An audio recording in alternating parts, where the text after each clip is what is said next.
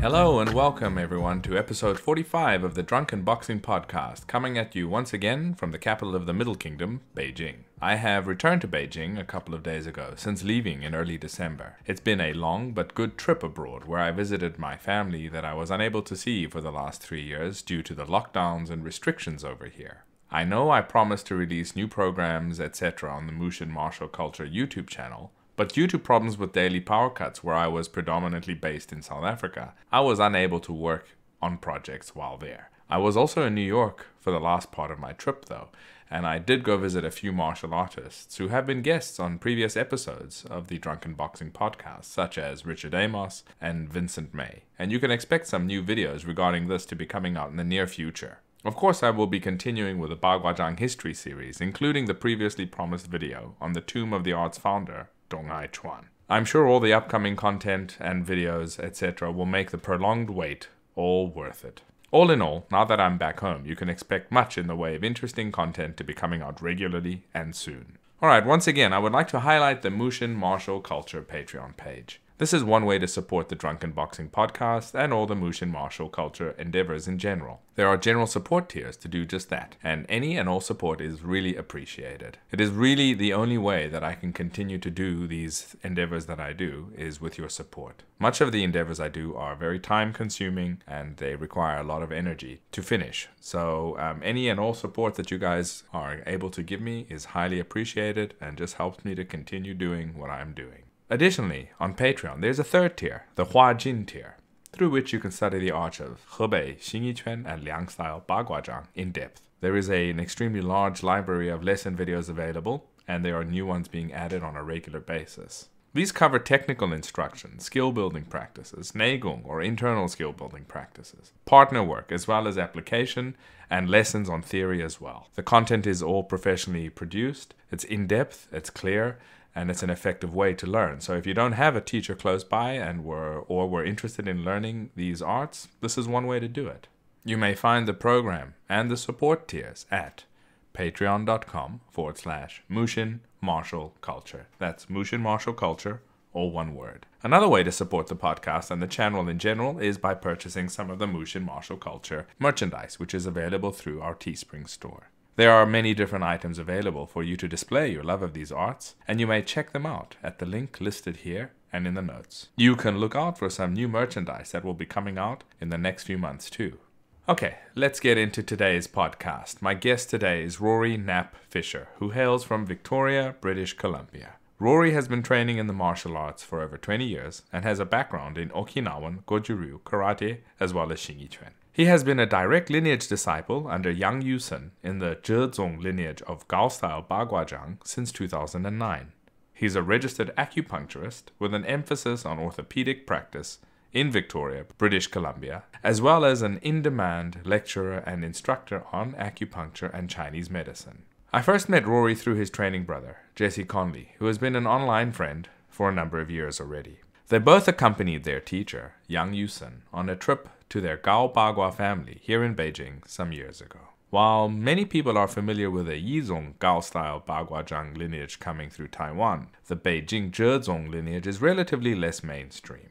Rory is a dedicated martial arts practitioner with a wealth of knowledge on traditional Chinese medicine, and I enjoyed chatting to him about these subjects. So, with that, I give you Rory Knapp Fisher. Okay, welcome to the Drunken Boxing Podcast, Rory Knapp Fisher. How are you doing today? I'm doing great, Byron. How are you doing? I'm doing well, thanks. I'm doing well, thanks.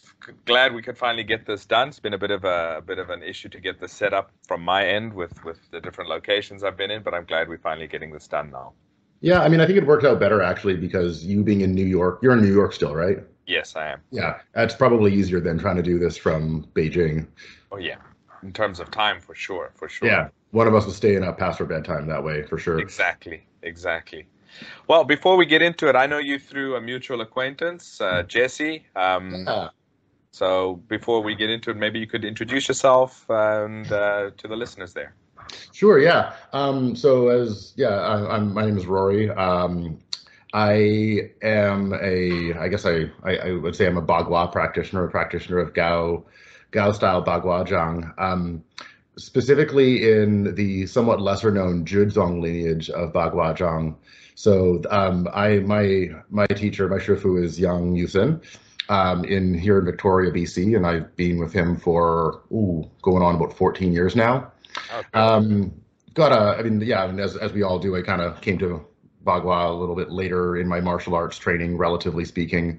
But uh, yeah, beyond that, I, don't know. I don't know what else you want to know. Do you want to know me in general or me as no, no? That's that's a good place to start. we'll we'll get into little okay. bits and pieces of, of your of your history as we go. Yeah. So yeah, most people are familiar with Gao style, predominantly out of Taiwan. Um, I think it's yeah. most popular.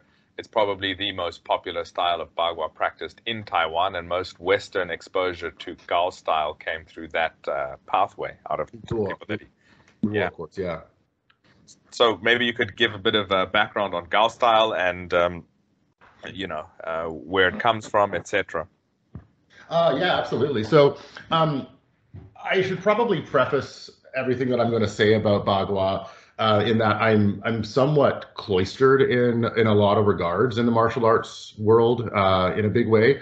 Um, so unlike a lot of my Gong Fu brothers who have spent a lot of time in in various Chinese martial arts for in some cases decades.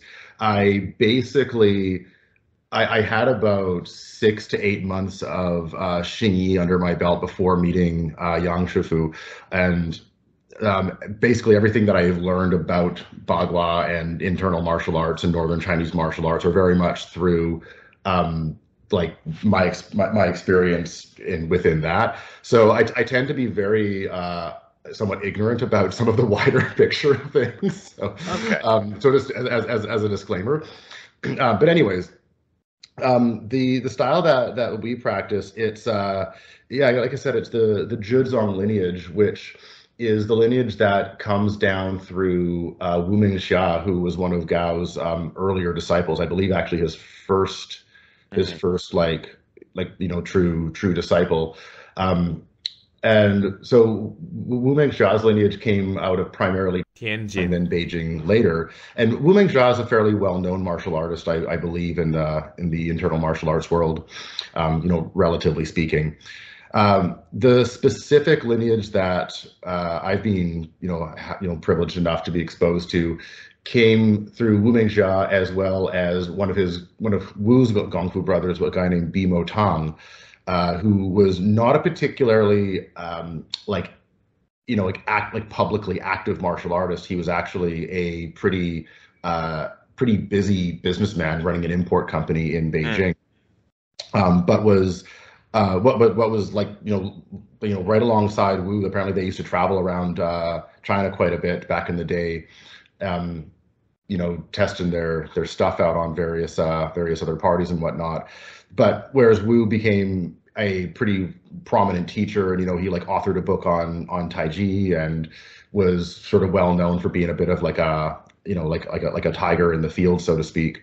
Uh, Bimo Tang was relatively quiet, but uh, Bimo Tang's son Bi Tianzuo and learned from his father for a period of time, and then f- from Wu for a period of time. Okay. Um, and same same sort of thing. Like BTM's law, not a super publicly active martial artist, but um, you know, nonetheless a very dedicated one. Um, he was an engineer. He is an engineer. I guess he's re- he's retired now. Um, he, he was he he was an engineer in in Beijing. Um, I want to say in like the petroleum business. I think I might be wrong about that.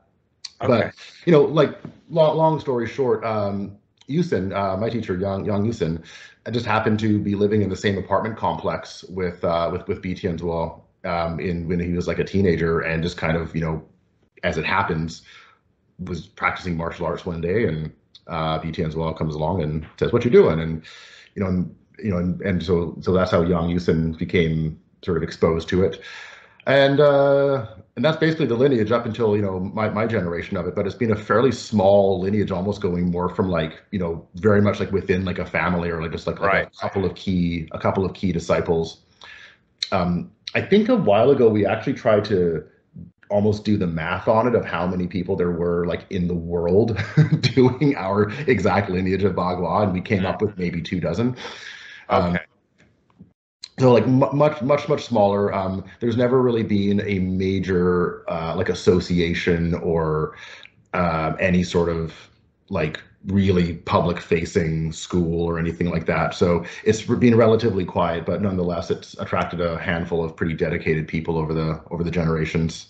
Yeah of course. And i mean that doesn't it doesn't it's not necessarily a barometer of uh, styles uh, abilities if they've set up something official or public or not. That really doesn't matter. Certainly, so, no, not my experience. Well, is there any connection between uh, this lineage and Han Muxia? Yes, absolutely. Actually, um, I'm glad you asked me that because I might have might have missed that detail. Yeah, um, Han Han Muxia was actually one of Wu, Wu Mingxia's uh, teachers. Oh, okay. So, um, you know, the, the story of of Gao Gao Bagua um, you know, and depending on the source you read, this gets kind of contested from time to time. But you know, the story that we hold in our lineage is that, you know, uh, Gao Yisheng was a student of, you know, a very brief student of Cheng Tinghua, and mm-hmm. then I want to say he was a student of Zhang Zhaodong. Perhaps you might know better than I. Um, but you know, he was he was uh, practicing essentially uh, Cheng style Bagua for a while. Right. And the story that you know we we pass along is that you know, as, as it happens in these instances, there was a wandering, you know, mysterious wandering figure who wanders by him one day as he's practicing, named Song Yiren, and says something to the effect of, you know, yeah, you're not doing too bad with that, but you're only scratching the surface, mm. and proceeds to show him. Uh, you know, this this is the origin of what we have as like the the, the Houtian Bagua, like the 64 more like linear palms, so to speak. And so that was where you know like that that's kind of where like the, the Gao style you know has its sort of you know it's it's like inception.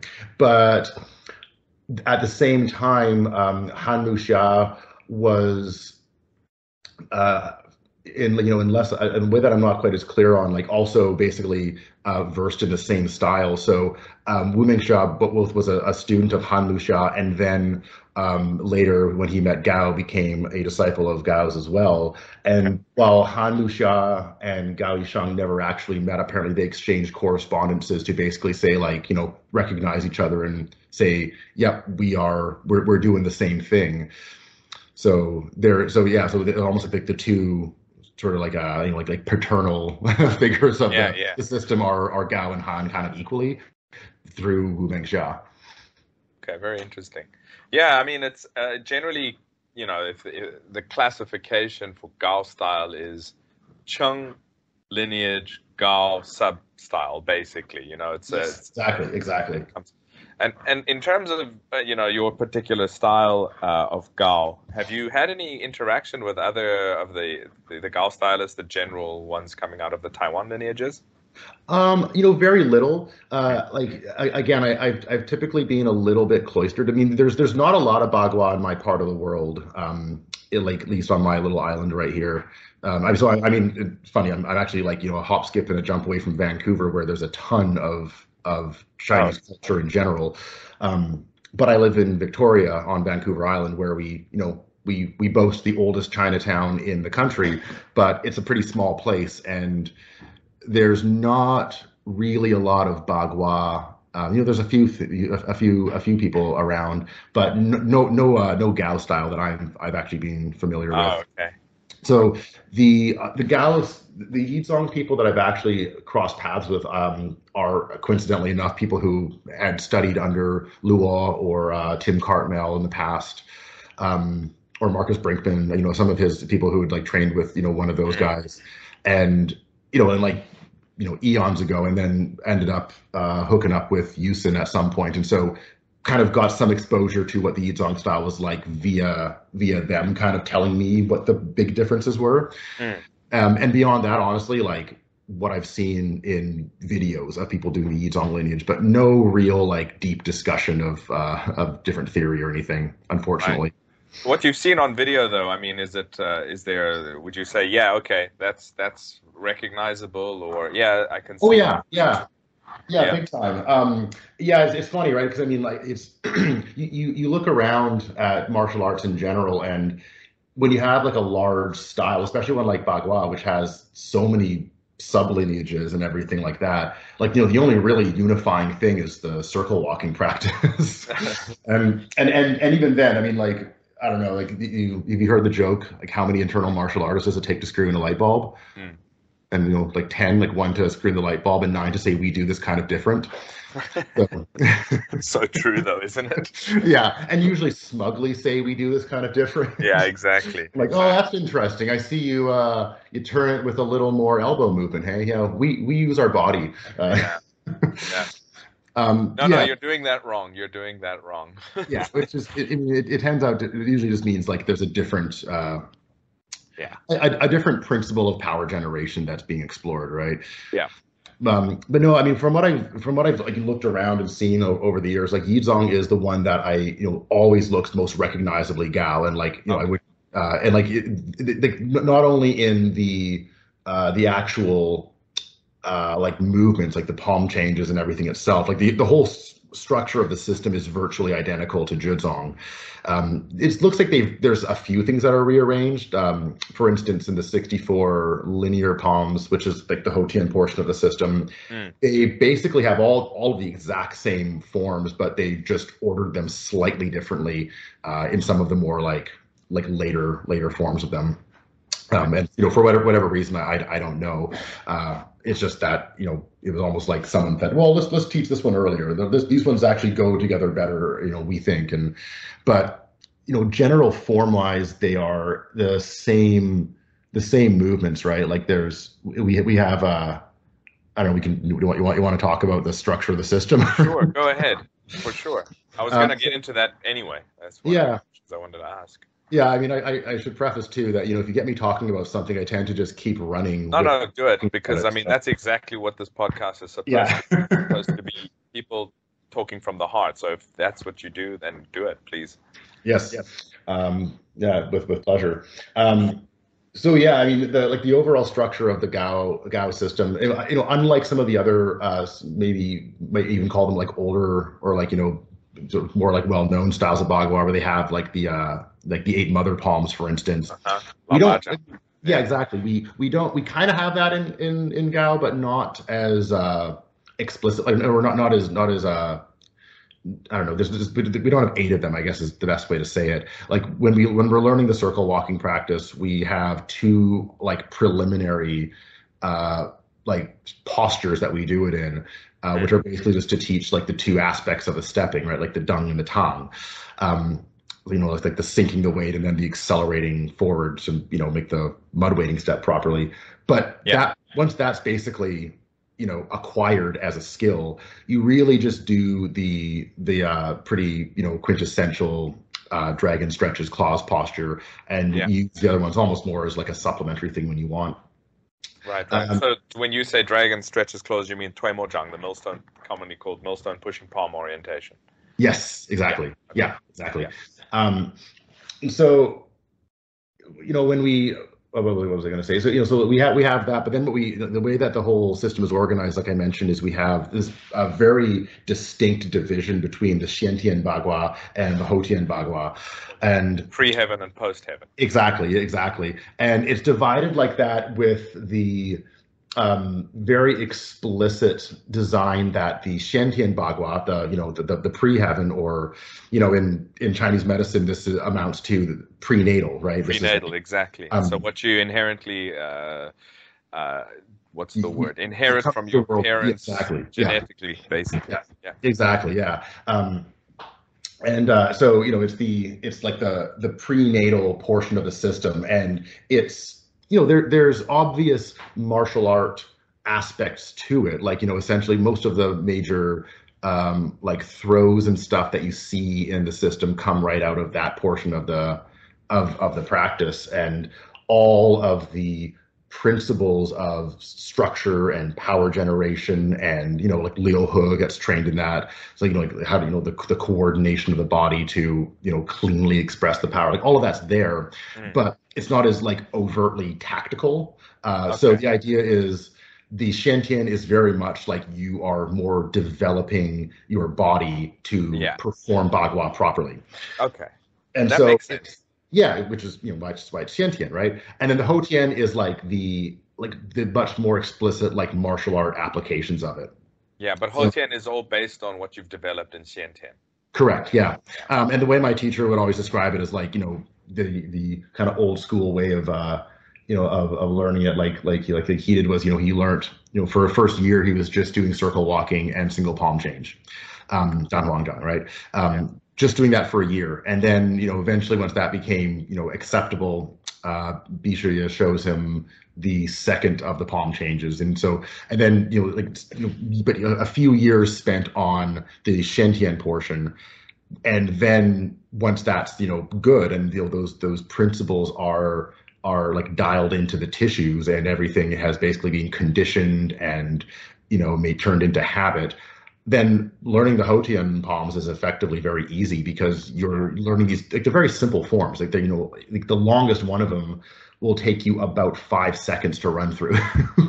like they're, they're they're basically like um like they're almost akin to like the earlier like Wu Xing Chuan from Xing Yi, right? Yeah, uh, line drills. Exactly, like just very very short short forms. But uh, as my my teacher would often say, like you know, like it's the forms are are great, but the engine behind it is the Xiantian. So if you don't have that engine, you're kind of just doing an empty shell of a movement. The thing that makes it real and you know and effective is having that movement principle that's developed from the Xiantian portion of the system. Well, that's very so good info. I mean, that's I mean that's how uh, even Xing Yi and even our system of Bagua is is presented, and uh, mm. a lot of people miss that. I remember my teacher like having people come over to learn, uh, years ago, and uh, you know they'd be like after a week they're like, no, but I'm still doing this basic stepping, and my teacher's like, yeah, I did like mother palms for five years before I yeah, did anything yeah. else. You know, you're complaining after a week. You're already trying to do tang ni bu. You're already trying to learn mud wading stepping. You shouldn't even be doing that just yet. But you know, you're complaining about that. You know, so. I think, and, I think you told me that story when I was in Beijing. Uh, yeah, yeah, for sure. I think I did. End up, end up having an encounter with a tree. Yeah, he did. okay. I thought so. we'll leave that for a personal, private discussion. for sure. but yeah, exactly that, and and and people don't realize like you're trying to develop an engine. You know. Yeah. You, you if you don't develop the engine, I don't. You, why do you even think about racing? You're just, you know. You're yeah, you got a nice looking car. Yeah. Well, not even that. Right? You know. you're going to try try sitting uh, in a racing car with no engine. I mean, what's the point of that, right? So, yeah. It's for the gram, you know. It's just take take uh, really nice selfies to post on social That's media, of course. Yes. Which, um, you know, is uh, a playful analogy, but unfortunately, that's what a lot of our uh, our craft gets turned into these days. right. Right. Like you know, like you know, long form Zhan Zhuang or circle walking or mud wading step doesn't make for a lot of likes on social media. Um, yeah. Like really dynamic, flourishy kicks do. Um, but you know, is is there that engine behind it, right? Is there is I mean, well, basically, is is there gong fu there, right? Well, that's what we can see over time with practice. You know, when you practice yeah. these arts for a long time, when you see somebody doing even basic stuff, you're like, okay, he's got skill, he's developed all these aspects, even if he's just doing basic stuff. But then you get like, no, but we need to do a performance like for the public, and they don't they don't want to see that because they don't know what they're looking at. Firstly, and for them, it's boring. I I'm personally of the opinion that once you know what you're looking at, it's actually really interesting to look at the basic stuff, not the flashy stuff. Yeah, absolutely, absolutely, yeah. And like that, you know, that's um, it's funny you say that too, because I mean, for like I, I mean, I, I said that I came into Bagua relatively late, but I mean, and, and as soon as I said that, I, you know, I remembered I was, I was actually in my mid twenties when I, when I, when I met uh, Yang Yusen. Mm. Um, so you know, I, I said relatively late, but I mean, I've been doing martial arts since I was like in my kind of mid late teens. So yeah. it felt late at the time, you know, that, that, that ignorance of being in your mid twenties as you think you're getting old.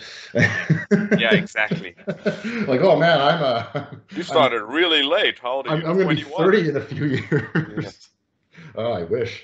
Uh, but no, it's like I, I, I can't remember who I heard say this, but I remember hearing somebody refer to Baguazhang as the graduate school martial art and I, I honestly do not know where I heard that, or even if I heard it from multiple places. But that that really stuck with me when I heard heard that that phrase because it it occurred to me that you know the the people who you see who seem to really get it and kind of recognize it for what it is are people who have some uh, you know some background if not in like you know a more formal martial art like you know at least being like kind of a scrappy uh, you know, like shit disturber in their youth, for lack of a better yeah. word, or something like that. Like, you know, they're like they they have that knowledge of of like the the the environment of combat and what's kind of involved in, you know, in in being good at it. And so when they see you know like the structural principles uh the rooting principles and things like that. Like yeah they are quote unquote boring because they're focusing on really small details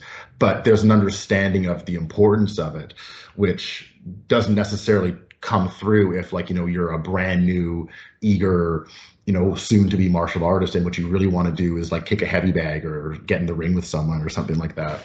Well i was actually having a conversation with a couple of xinyi Xinyi Liuhe practitioners, you know, Xinyi Liuhe Quan, Xinyi Henan, 10 yeah. big frame, uh, big, uh, you know, the the Muslim derived Xinyi. Oh, yeah, yeah, yeah. And uh, he was saying, you know, when people come to him and ask him about uh, learning why they want to learn, uh, he'll ask them, why do you want to learn? And they'll be like, I want to learn how to fight. And he'll be like, well, go do some boxing for six months. Yeah. You'll be able to fight. And uh, there's that. Like, if you want to do this stuff, if that's your only goal, it's uh, you know, it, you're going to be putting in a lot of effort for a system that develops that, but not only that. So if that's all you want, just go do boxing. You know. Totally. Totally. And I can understand what he means. It's not, you know, he's an older gentleman. He's had uh, a lot of experience in both training and teaching, and and he's not trying to say that the art is not good for boxing. I mean, sorry, for fighting. What he's trying to say is he's had the experience of people falling out, basically getting involved for the wrong reasons, putting in the efforts, and then disappearing because um, it's it's not it's not in line with their only goal or their simple goal. If you've got a simple goal, there's a simple solution, right? Uh, if you've got a more profound goal, well, these arts are more profound. So absolutely, yeah. yeah. And you know, as as as you know, the the teacher in that circumstance, like it's exhausting. Yeah. you know, and like like the I mean, um, like you you you you've been teaching for for a while, I'm I'm sure, right? Yeah. Yeah. I mean, I've, and like I've, the amount of energy you put into to one person sometimes is you know it's like a lot of thought a lot of a lot of like uh, you know a lot of effort a lot of attention yeah. and you know, like you know a, a, lot of emotion goes into it right because you know if, so, if someone genuinely expresses the desire to learn like you are kind of excited about that in in as as a as a teacher. And then if they kind of suddenly say you know what? Like i was into it for a while and i'm not really anymore. It's, just like it's draining. Yeah it's i mean but it, it is it is something that uh, we deal with all the time. Even ourselves yeah. I, I mean there, you, you'll go through plateaus through your training career. You'll be like ugh i'm not getting anywhere. You know i'm, I'm feeling like i'm worse than before uh, why am I doing this? You know, what am I actually trying to get here? And you, you know, if you you got to push through those little plateaus because those Absolutely. are normal. So, well, and, you know, and that's funny too, because like I, you know, I'm I'm in like I'm I'm pushing forty now, and I actually was one of the things that has made me continuously like I, I know I, I was going to say like return to Bagua, but you know I never I don't never really left. Like I was you know for whatever reason like very, you know, devoutly committed to it kind of from the get-go for a variety of reasons i think. But you know like you said there's there's ebbs and flows. There's t- times when like you you're really inspired by your training. Um, you're you're chomping at the bit to do more than there's times when you kind of feel like you're just sort of going through the motions and don't really know what you're, you're developing with it and stuff. But the thing that i found to be the thing that always kind of renews that interest is like it's a different thing every time. And in mm. certain like you know my my understanding of what the art does for me now is quite a bit different than what I thought than, than what I considered it doing for me when I was, you know, like 27.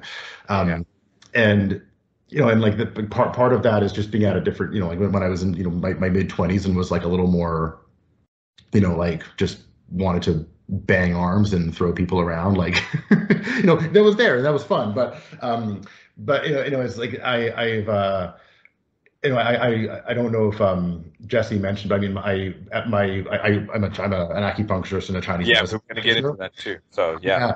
so you know and, and, so like my my career like my profession has also been like studying um, like injuries in the body and i've spent quite a lot of time uh, specifically researching like fascial uh, like you know like um, like fascial anatomy that's a big part of my, my my my work as a as a practitioner and it's funny because i you know, in, in doing that, I've, I've, spent quite a lot of time looking at like very modern research in terms of understanding of how connective tissue responds to stimulus and, you know, pathology and training and all this kind of stuff. And there's all these very new, shiny methods of conditioning the body based on this kind of research. And every single time I get an understanding of one of them, I suddenly go, wait a second.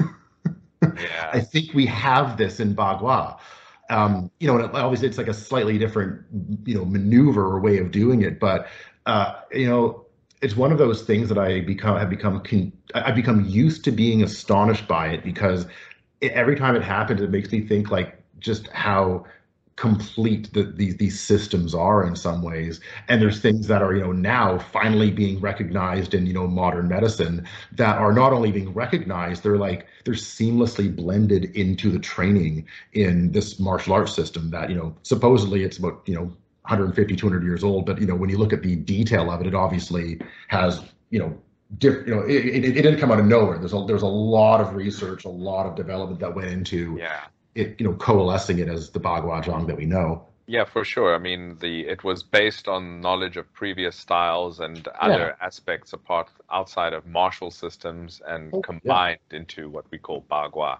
with of course further additions to it. So, I mean, that's why the analogy of Xiantian and Houtian is so apt because you could say whatever styles and systems, you know, uh, Dong Haichuan practiced um, before he he made Bagua, that could be the Xiantian of of Bagua, and then his uh, his own uh, combination of that knowledge and then further refinement and development into whatever he taught there could be considered Houtian. You're taking something that you originally learned and knowledge that you have, and then you're further refining and using, you know, your own experience to compile it into something that then gets handed down. And that's, I think, where people also get kind of uh, stuck. They'll be like, no, but you can't change anything. No, yeah. you can, but make sure you've got all the absorption of the previous stuff first before you think about changing something, right? Yeah. So keeping keeping the flavor is what my my my shifu always says. Like yeah. you know, like of course you have to innovate. You know, like not like not innovate in the sense of like make up a new form or something, but it's a living art, right? Yeah. And and I, I think that you know that that's something that it took me a really long time to I think actually understand is you know when you are quote unquote using bagua, it doesn't mean that you're executing like you know a Houtian palm you know, according to the form perfectly in a fight or something like that. It's, I mean, sometimes, but you know, like when it comes down to it, a lot of those maneuvers are, um, you know, they're not like novel techniques per se. Like they're, you know, they're like they're you know they're they're arm drags, they're trips, they're exactly. you know like I mean they're they're the same general techniques, but there's like we talked about, there's that engine behind it. There's that quality of movement. There's that ability to um, like change one technique into another technique depending on the circumstance that you know has that particular quality of you know fluid change with that engine behind it that makes it bagua and which you know, in a certain interpretation means that, you know, at a certain point, um, you know, theoretically, when one's there, it's like you're kind of always doing Bagua regardless of what you're doing. It's like exactly. It's it's like that's the um, you know, like the the the expression is just circumstantial, but the actual like the essence of it and the flavor is a thing that you've developed into your like your literal bones. Like you, it's it's part of your cellular matrix at that point but it's also you know it's also very much dependent on your own uh, experience and situation. So I mean, again, we can go back to the Xiantian idea of, uh, of inheriting DNA from your parents. Your parents could both be five foot eight and skinny, and you're gonna inherit their DNA, but you could come out six foot four and chunky. Um, you're not going to fit into the same clothes your parents wore Mm-hmm. But you're carrying their DNA forward and you're going to make it work for you in your own particular c- circumstances. So, mm-hmm. That's why it's so important. Like if you watch big people do bagua and if you watch small people do bagua, the underlying methods are all there, but they've then adapted it to their own particular circumstances. Like uh, absolutely, uh, we, we, used to we used to um, not joke about it exactly, but I mean, we, we, we I remember noticing um, my my Gong Fu brother and I were noticing at a certain point, um, you know that like you you you don't you you see I think you see this less now because I think there's just better available resources mm. than there used to be. Um, but you would see like you you could almost tell by a student. Let's say you had like you know like a you know a somewhat you know like average build 20 something year old athletic student yeah. and they'd be doing their bagua or the xingyi or whatever, and you could tell by how they were doing it, like the age and girth of their exactly. exactly, that's exactly it's, it. It's like it's like like you, you don't have like the reason you're holding your arms like that is because your teacher like that's actually where his waist is.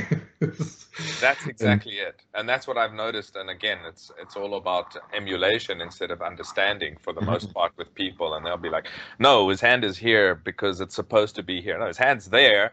Because his stomach was in the way. Yeah, exactly.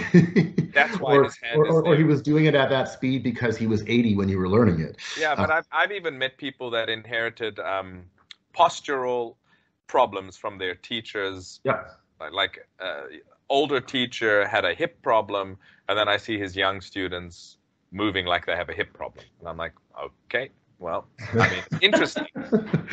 it's interesting that that happened, but you know, it's also kind of you're missing the point. Yeah. Yeah. Yeah. So. it's interesting that that happened on two on two fronts. yeah. Yeah. I mean, at, at the end of the um, at the end of the day, you got to take the knowledge. Like I always try to think of martial arts as, uh, as giving somebody a hammer, right? I think I've said this before in a podcast. and I can give you a hammer and teach you how to swing it, but you've got to make something for yourself. And some people will make a chair, and some people will break a wall down. Same hammer, same swinging, but yep. they applied it in the way that they want to use it in their life, right? So you could make a table, another person could make a chair, another one could uh, knock down a wall, another one could commit, you know, a crime with it, you know. So there you go. The hammer's is, the same, which though. is a, a, very apt description of uh, of gong fu because I'm pretty sure people do all of those things with it. So. what got you into the um, Chinese medicine side of things? Oh, that's a. Um, it's actually a, so it's a funny it's a funny question because I mean it's in some ways it's actually what got me uh, in a, in a weird roundabout way into Bagua as well. Um, like I, so I mean my before I I did um, Bagua and, and, Chinese martial arts in general. I I, I did uh, like I, I, was it was one of those. Uh, I, I, one of those guys from back in the day who you know back when I first started wanting to do martial arts, it was all karate. So um, I started with karate. So I don't really remember exactly when I became aware of Chinese medicine, but uh, I just you know it was something that for whatever reason it was like on my radar almost as far back as I can remember, whether it was just from you know some fleeting exposure to it just through being involved in you know in, in East Asian martial art or you know from a scene in a in a movie. I mean, I know in like some there's a, at least one or two Jackie Chan movies where he's suddenly like running down the hallway full of acupuncture needles and stuff, something like that. You know, well, so what movie was that? He was actually completely covered in needles. Yeah, yeah, no, it was. um It wasn't wasn't Russia. Was it? No, it wasn't Police Story. I don't know. It was, it was one of them though, and yeah, yeah, yeah. He looked like a a window with it too. I'm pretty sure. Yeah, I think so. Yeah, and uh, you know, knowing Jackie Chan, he was really he was really full of needles. yeah. But anyways, um, you know, it was one of those things where I like I, again I was I was aware of it. It wasn't like there was a one particular thing that suddenly like clued me into it, but um, like the the the short version of the story was like I in, in university I, I studied anthropology and uh, and liberal arts. Um, so I had this um, kind of weird mishmash background, which was more a result of not knowing what I wanted to do in university than anything else. But um, it what I ended up focusing on in my anthropology part of my program was traditional medicine, and um, did my senior project on on um, on like on traditional medicine uh, integrating into North American medical systems, basically. Um, and on top like, of that, uh, like um, Native American medical? Um, for for me, I, I actually I, I actually focused on Polynesian medicine because I went on a, I went on a field school to Polynesia when I was in university. So, um, so but so yeah, essentially, but it was just it was more of the the bent of taking a traditional medical model and trying to um, make sense of it in the modern medical model. And the the whole kind of thesis was that the nature of the medicine actually completely changes form as it as it fits into a different uh, like medical mythology. um, one of the uh, one of the examples that I used for this was uh, kava, which was I mean I think it's now fairly I don't know if everyone, anyone remembers what, what kava is now, but it was at the time it was a bit of a, a hot topic in the in the medicinal world because it was like it's an intoxicant. It was still you know like it was legal, but you know it was there there was a talk of it being controlled and i mean it's basically like uh it's makes you very, very like sleepy and euphoric oh, okay. and it was getting marketed in um you know western holistic medicine as an anti-anxiety medicine okay. and i one of the one of the examples that i used was i i i, I compared uh, origin myths of the kava plant from various Polynesian cultures to the, you know, the, you know, what, what you might call the origin myth of kava in North American wellness industry. Uh, and so one of the, the, the, the origin myth from uh, Vanuatu in, uh, I think it's in like, you know, Melanesia or my, yeah, um, yeah and, uh, the the story the the story of how kava came into being was essentially there was this uh, uh, traveling king on the island who stops at this very small little hamlet for for a night. And the family there's this uh, husband and wife and their daughter and they you know and they're like you know deeply honored that they're you know that the king has stopped there for the night but are also deeply uh, anxious because they have nothing to offer him for you know by, by way of meals so what they end up doing is killing their daughter and serving their daughter to the king.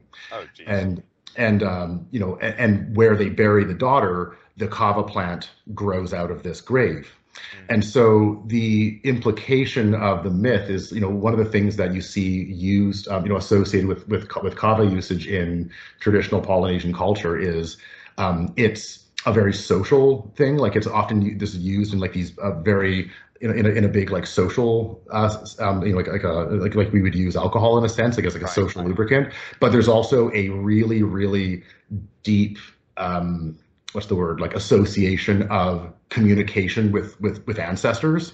So oh, you know essentially like like communications with the you know with with the dead and the other side.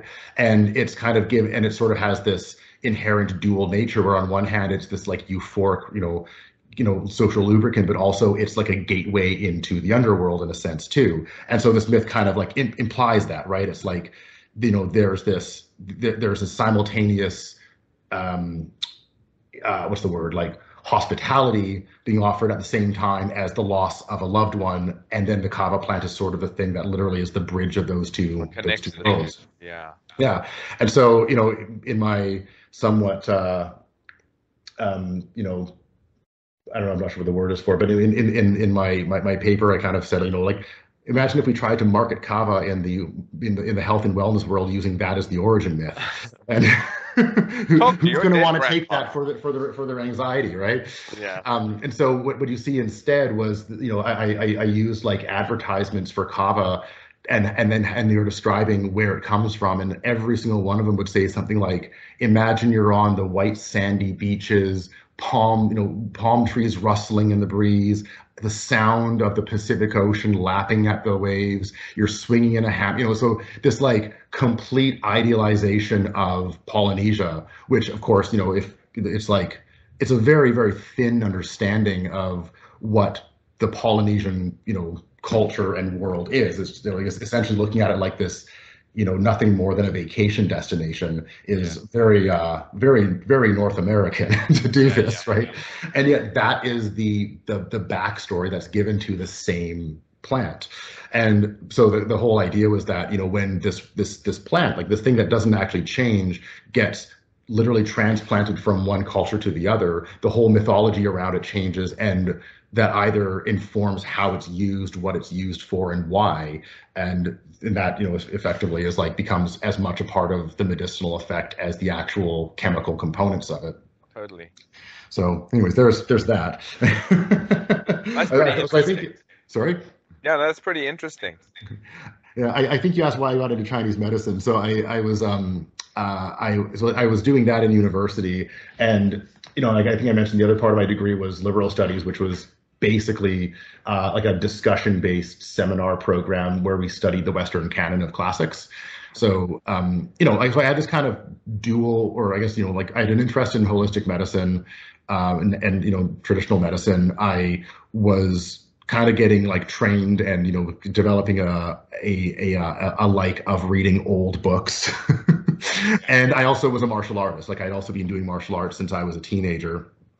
And, and then, and as it happens, I randomly met a guy at a music festival of all places um, on one of the small Gulf islands around here.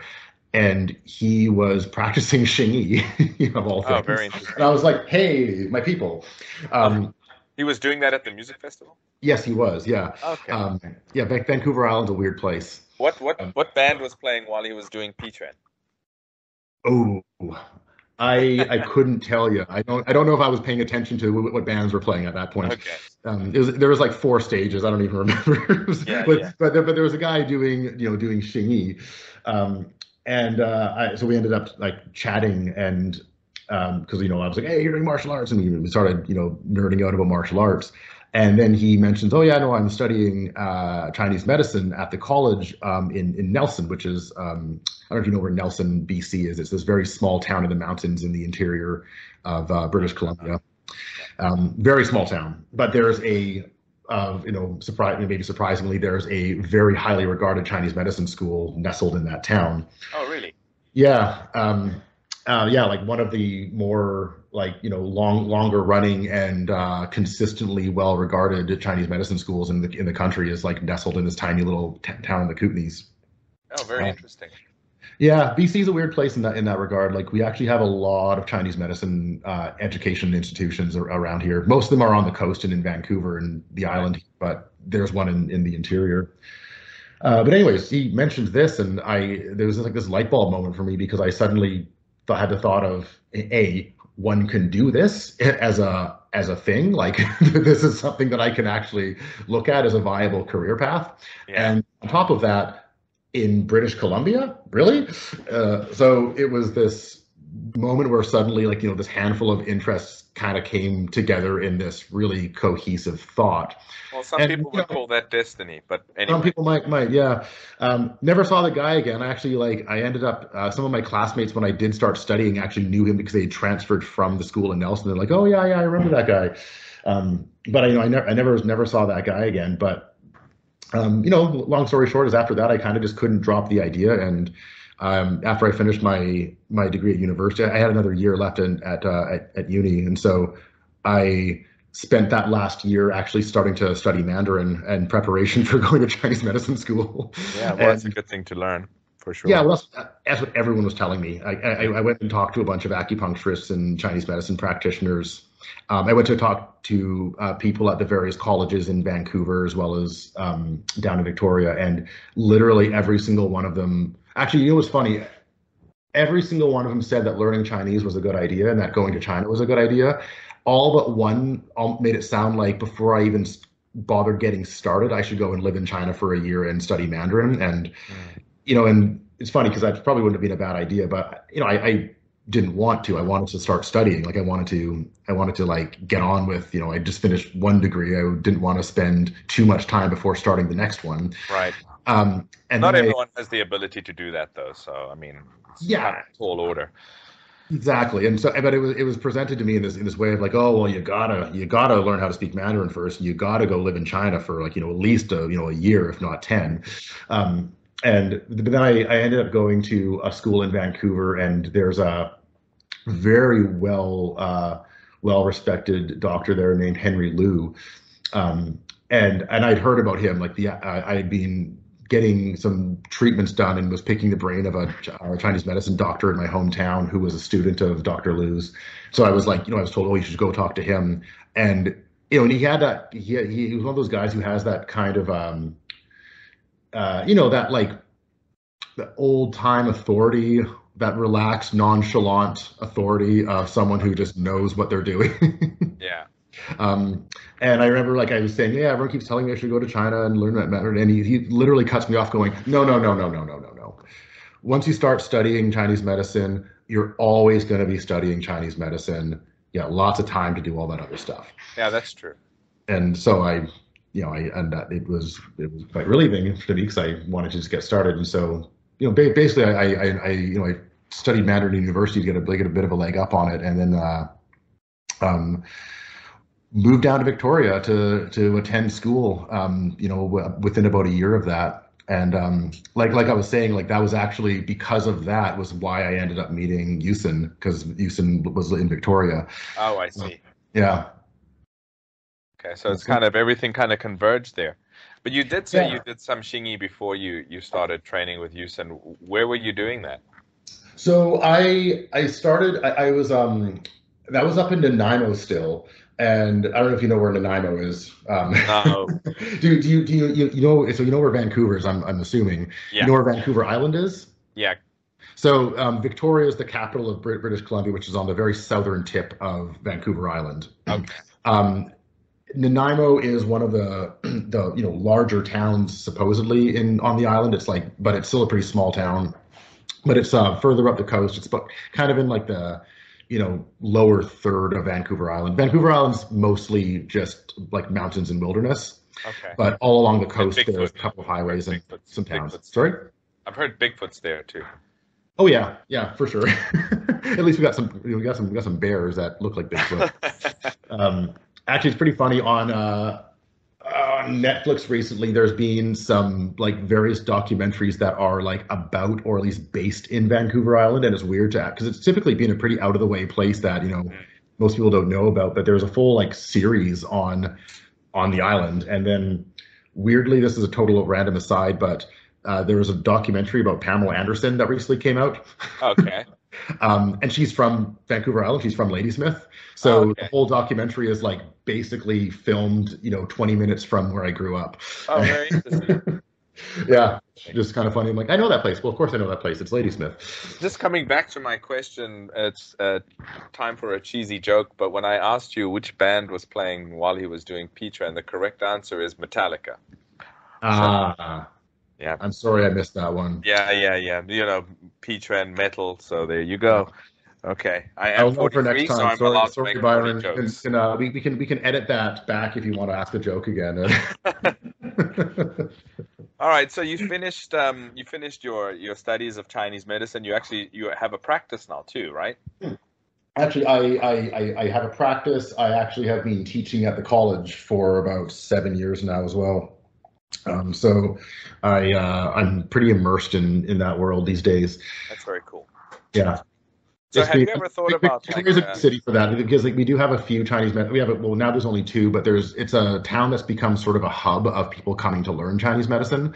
Um, so as far as like kind of building a really you know like just diverse career in for, in terms of like you know acupuncture and Chinese medicine, it's been a, a really good place to be for that because I have a I have a practice which is great, but also I get to be like a you know, kind of like like like a like like a teacher, which allows me to also be a little scholarly about it at the same time, and really have a whole variety of different ways of interacting with the with the material, That's which is cool. which is awesome. You know, which is just really really is, is a very big privilege to be able to do that. Have you? Ever, I mean, have you ever thought of? We're coming back to what you were saying that as you learn more about certain aspects of Western medicine, and then they talk about X, Y, and Z, you say, but hang on, I've seen something like this in Bagua. Have you ever thought about compiling that into some sort of a book or something, with your, your own little discoveries? yes, um, yes, and uh, I've had uh, uh, a lot of, quite a number of people ask me to to start penning something for a few years now. Um, yeah, actually, it's uh, it's I, it's funny you asked this because I, I literally taught a seminar on this like last weekend. Is why oh, I could. It's, it's, it's, it's, why why we couldn't do this on the weekend. Ah, uh, okay. um, my um, like I said, my my my biggest uh, Oh, where do we even start with this? So I my the, my practice has primarily been focused on like injuries and pain. Um, just you know, being a martial artist, that's sort of the thing that really um, was got me, you know, into the medicine, and that was, was sort of what I tended to use it for most primarily when I was, you know, when I was first encountering it. So, as as it happens with those things, you know, the thing you have the most more personal connection to with it are the things you tend to spend more time reading about and studying. Um, and so I was you know had a particular mind for treating injuries and pain which you know in the field of you know modern acupuncture and chinese medicine we call that orthopedic acupuncture or sports acupuncture right and like i said when i moved down to victoria to study chinese medicine i basically met uh, yang laoshi in uh, about a month from the time that I moved down. So I, I, basically started studying acupuncture and Chinese medicine within the same like four week period as starting to study Bagua. Very cool. Um, which was huge, and I, I I I really can't stress enough that you know. Um, my my primary teacher for both of them was actually probably being Yang Yang Shifu. oh, that's uh, interesting. despite him claiming to not know much about Chinese medicine, um, the majority of the big aha moments that I had in in acupuncture and Chinese medicine were because of his understanding of Bagua. So it's been uh, it, it, it, was a very serendipitous and very uh, um, like major part of you know how I've kind of constructed my understanding of things. Yeah. But um, one of the reasons for this is like you know one of the things that we emphasize so heavily in Gao is the sinews, and I mean you asked earlier about some of the differences between Yizong and Zhezong, and then we kind of got sidetracked before I had a. If I, I think I started, I kind of sidetracked myself before I fully answered that question, if I'm not mistaken. but uh, th- that's one of the things that I tend to notice the the most between the way we do our bagua and you know like a lot of styles is that we have, we have this very big emphasis on like really really stretching the tendons and like really like almost emphasizing some of the um like you know uh, like like going to the end of the movements and that's like you know it's, it's not like that's not happening in other systems of course but there's just this seems to be this like particular emphasis on this in the way that you know I, I was taught and the way that you know Yusen was taught as well uh, by by all accounts. And but there was like, this emphasis on you know, like the, the, the thing is tuning up the sinews. It's all about the sinews the sinews the sinews the sinews. Right. you know we, we learn about like the four ends. You know there's the the flesh end which is the tongue on the roof of the mouth. There's the bone end the keep the teeth together. Um, there's the blood end which is the hair. And there's the sinews the fingernails but that and you know Yusen was always big on like other ones are important but I cannot stress the sinews enough and so that was on my mind and I, you know, I was in school learning about anatomy and acupuncture channels and injuries and stuff. And then I was, you know, on the weekends going and having Yusen basically like tell me that I wasn't torquing my body enough or twisting my sinews enough and, mm. and emphasizing this. Um, and then, you know, physically putting me in positions that I didn't think I was capable of. and then he laughs and walks away. Um, yeah.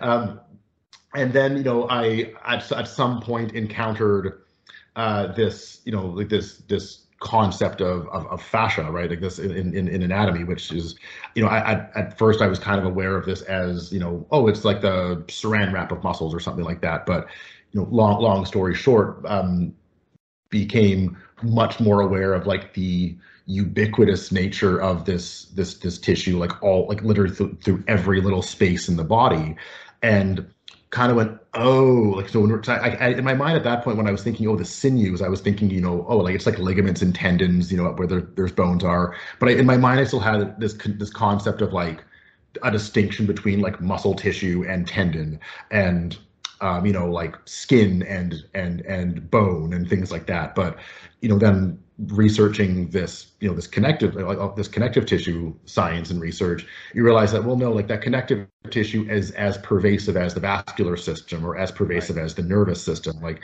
there's literally not a cell in the body that's not touched by it and it responds to to specifically kinetic information so tension pressure torque um, and it and it models itself after the imprint of tension that runs through the fiber direction. Like the fibers will literally develop in accordance with how tension is translated through that Oh, okay. that, that that tissue. So all of a sudden, this you know uh, this light bulb went off. Of, Light bulb moment. that's why you know what that that's what it's that's what Bagua is talking about. But that's what that's what Yusen's talking about. He says the sinews. It's not just the tendons. It's literally this tissue that's everywhere in the body that you are engaging when you're doing these like you know full multi you know like three dimensional maneuvers with the body in it but in a very unified way and this is why of course it takes so long to develop because you don't just learn the movement you have to literally remodel your connective tissue Mm. It's and quite interesting that you say that because I mean, some people wouldn't understand. They think, oh, but you know, how can you? If it's in your arm, you're stretching. You're stretching your arm. What does the rest of your body have to do with it? You know, like Yeah. okay. But I mean, they could try this out themselves by like extending your arm out to the side, twisting, twisting your wrist, pressing your arm back, feel that tension, and now simply tilt your head to one side. Yeah. And you'll see that suddenly the tension becomes a lot tighter. And you're thinking Yeah. hang on but that's my neck and my head and that's my hand and my arm. Why why is this working? Well there's some stuff that's connected between the two. Absolutely. Yeah, so- And then and then and then you know like tuck your hips in a little bit and drop your weight, and all of a sudden you're bringing it down to your feet. yeah exactly right. And yeah, it's. I mean, like like like I said, it was one of those things where, you know, having this fairly profound light bulb moment go off about you know just connective tissue in general and then looking back at Bagua and going holy crap not only do, are they aware of this they have a sophisticated system of doing it yeah and um and well yeah and then you know on the chinese medicine side of it um some of the really interesting research that uh, has um, been you know on on my mind in the last little while. There's actually there was a, a, a physician in Beijing named Wang Juyi who passed away a few years ago, um, who really revitalized uh, a classical method of like channel palpation diagnosis Okay. in acupuncture. Mhm. Um, and so you know, it just sounds kind of funny because like uh, you know in a you know in like in in Chinese medicine and in acupuncture, of course, there's like you know there's these fairly large components of it. You know, there's herbal medicine and formulas. There's organ theory. There's um, then there's acupuncture, and then and the, and the channel system, and then you know there's diagnostic methods that kind of go along with all of them, and and you know more more recently in the more like modern renderings of Chinese medicine, uh, what's being emphasized is like pulse diagnosis and tongue diagnosis and and asking questions about the organ systems and almost a complete ignoring of like actually touching your patient's body and, and feeling Wow. what's going on like in between the spaces of everything. And wang Ji kind of thought well hold on a second. They talk about this quite a lot in the classics. Like maybe i should start doing this. And Mm. um, and you know I, I i can't speak to his you know his story very well because i only kind of know it via some of his his students but ended up um you know really reviving this practice of actually like you know using like like you know like like a like manual palpation to Mm. explore the spaces in between muscle systems and everything to glean diagnostic information and ended up forming a theory so i mean it, i don't know like, um, how familiar um, you are with like chinese medicine physiology and everything but you have a concept of something called like the sanjiao um, Yeah. like like the three the three burners or the three the triple energizer or something Right. which is this organ in Chinese medicine, right? And uh, and it, you know, it, even in the the I classics, think it's the I think the English translation in general is triple warmer. yeah, triple warmer, triple energizer, the three burners. Like you see it, it, it, it there, there's like an alchemical allusion there to it almost being like a you know like a like a three tiered um like you know chemistry set kind of thing, Yeah. right? Um, and it's typically you know thought to refer to like the three major cavities of the body, like you know the upper thoracic cavity, the epigastric abdominal cavity, and then like the lower lumbo or like uh, like abdominal pelvic cavity. Mhm. And there are very real like um, like membranes separating those those two region those three regions in the body. Um, but uh, Wang Ji ended up ha- developing this theory that you know the when when you look at what's described as the the function of this this you know so-called organ in in the classics it's, it's often referred to as an irrigation system and so he kind of devised this uh this this thought of like well you know, actually, what it's probably referring to is not the three major large cavities in the body, but rather like all of the extracellular space in the body in general. Um, as you know, in, in between all the actual cell structures, there is, of course, like you know, there's space, but that space is filled with, you know, none other than this collagen matrix that essentially shuttles fluids between different cellular structures. And, you know, so again, light bulb moment here, all of a sudden, like, here's this tissue that you know is becoming this sort of new thing in modern medicine and not only is this addressed in a very sophisticated training way in bagua it seems to also have this very sophisticated understanding in classical chinese medicine and you know and and you know one, once again we kind of have this you know this funny moment where we we we look deeply into modern research and end up finding something that has been very old very very old right and and you know and understood better than we do now and we're just trying to keep up. Right. And so yeah, I mean, so I was I guess you asked a question about like asking, you know, kind of penning a book on this or something like that, and, and then maybe may, maybe in another twenty years or something. oh well, you know, I mean, but, whenever you're ready, I think it would yeah. be interesting. When well, uh, yeah, sorry, like, go ahead. Go ahead. Yeah, I wanted to ask you what it was like, what Yang Yang Yusen is like as a teacher, what it was like uh, training with him. Um, wonderful. I'm gonna say I'm gonna say wonderful. He's a wonderful person, and I love him dearly, and I've always enjoyed training with him. um, he's a, yeah, he's a very friendly guy. He is really funny. He's he is a total perfectionist when it comes to Bagua, and training directly with him, you never feel like you're doing anything right. oh, that's how it should be, though. Sorry. That's how. oh, of course, be. yeah, but yeah, but you know, but like you don't, he, but he, he does it in a way that you know, you, you don't necessarily walk away feeling like you know, I'm never going to get this. He just kind of, you know, he he's he's a really um, approachable teacher in that way, mm. which which is nice.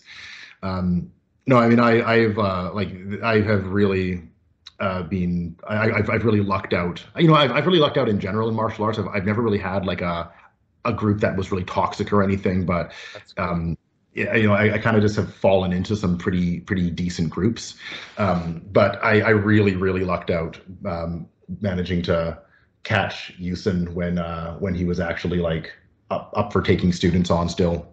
Oh, is he not doing that anymore? I mean, he is kind of like you know, it's he's been doing.